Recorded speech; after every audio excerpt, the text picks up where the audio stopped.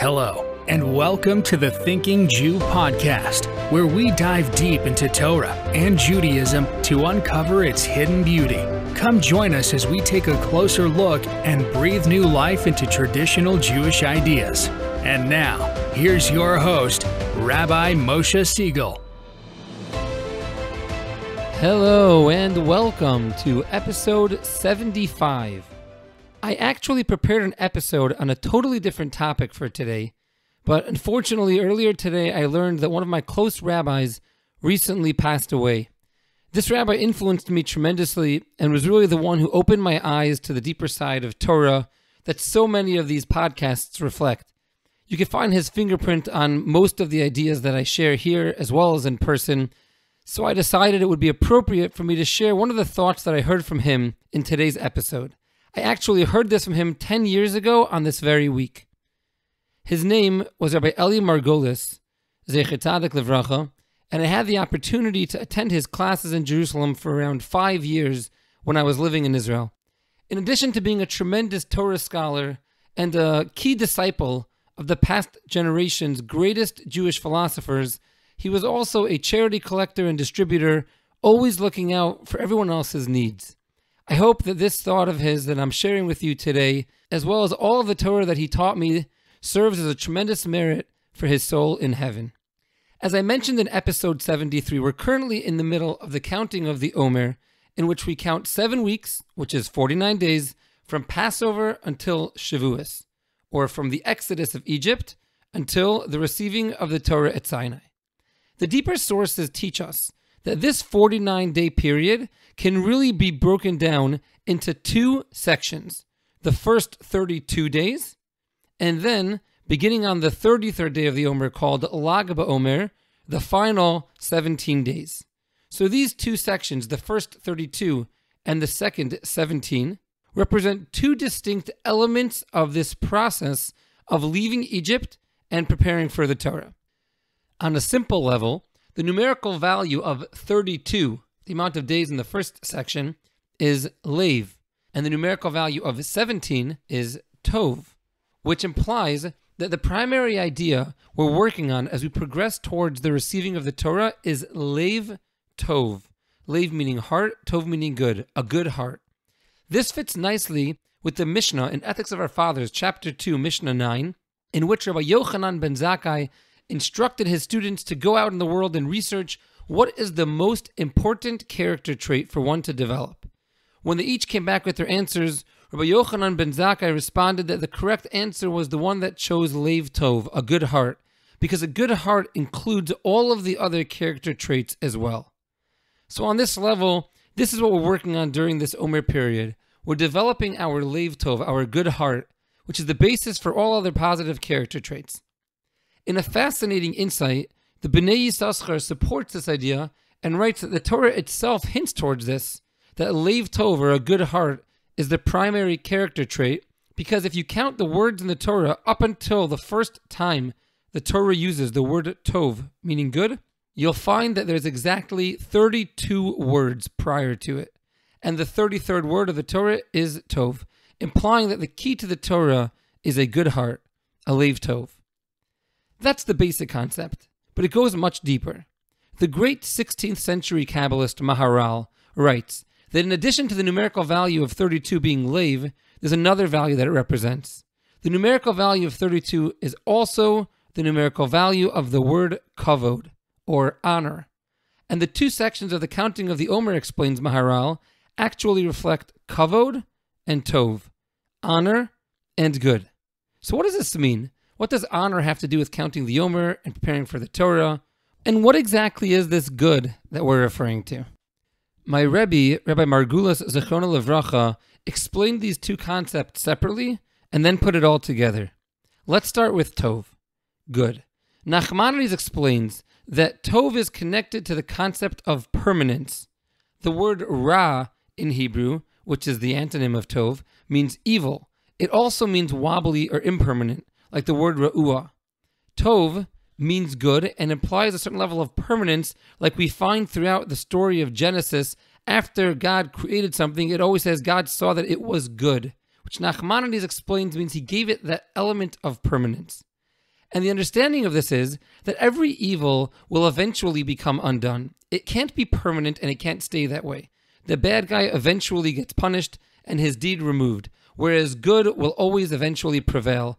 Good people will eventually take their place with God for all of eternity. So the concept of long lasting is connected to the concept of good. What is the most permanent and lasting thing in existence? God. God is also the greatest good that exists. Like the verse in Psalms 136 states, Hodu Lashem Kitov, let us praise God, Kitov, because he is good. Kiliolam Chasto, his kindness endures forever. Clearly linking these concepts of God, goodness, and eternality. What is honor? What does honor represent? So, honor is an interesting thing. It only exists between two separate entities, and it can only exist when there is a choice. You can't honor yourself. Honor always comes from a relationship with someone else. You can honor them, and they can honor you. Why is that? Because honor always comes from a decision. Honor comes from the choice to prioritize one thing over something else. For example, if you were to ask me a question, I have the option. I can listen politely and respond, or I can blow you off. When I listen kindly and respond, I'm honoring you. I'm honoring your question. If I were to blow you off, I'd be dishonoring you. Honor always stems from a choice. Parenthetically, for those of you that know Hebrew well, that's why we always find the word kavod attached to malchus. Kavod malchuso, we say. We'll never say kavod memshalto, because malchus always implies choice, whereas memshala is controlled by force. So you can only have kavod, honor, by malchus, because honor is always associated with a choice. When we discuss honoring God, it's only possible for us to honor God when we also have the choice to disgrace Him. That's why the verse says that God created our world for his honor. That means that God created a world in which he is hidden, and we have to struggle to either do what is right and godly or to follow our evil inclination, our ego, and go against what God wants from us. It's this struggle that allows us to reveal God's honor to the world. When we make that choice, when we choose to be godly, that means that we're prioritizing God over our own sensual pleasures and desires. And that's the greatest honor that you could give God. So we began by quoting the Maharal that said, The 49 days of the Omer can be broken into two parts. The first 32, which is kavod or honor, and the last 17, representing tov or good.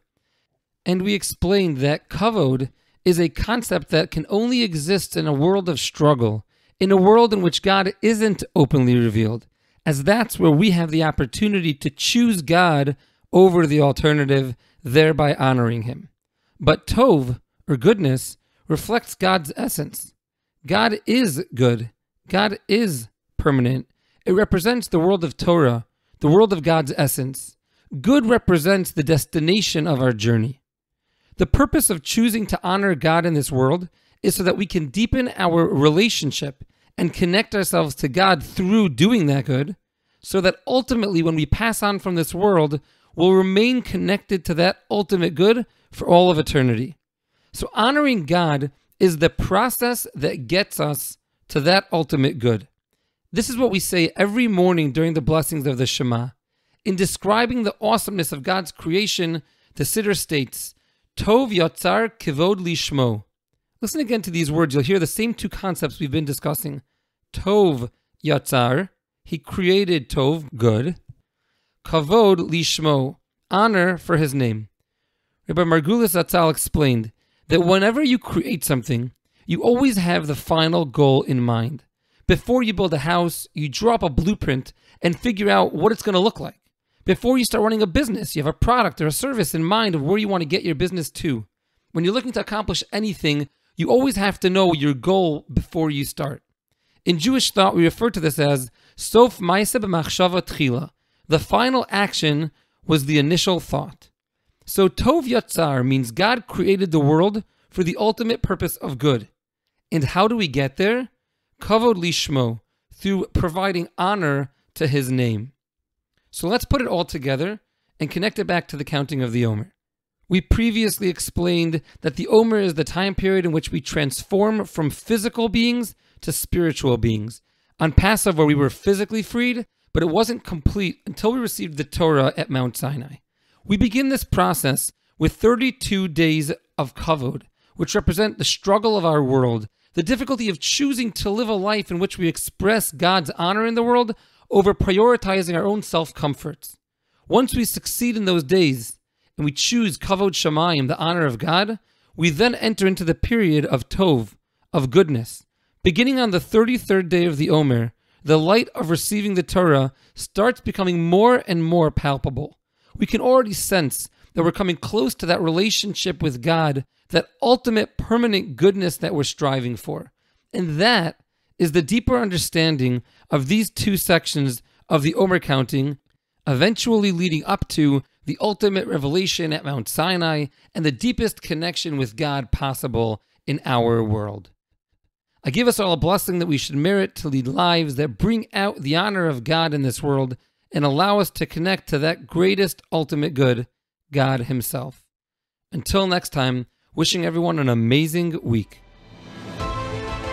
Thank you for listening to the Thinking Jew podcast and for taking the time to study Torah and deepen your connection to Judaism. If you found value in today's episode, please leave us a rating or review and subscribe to the podcast. If you have any questions, comments, or topic requests for Rabbi Moshe, please email the Thinking Jew podcast at gmail.com or visit thethinkingjew.com.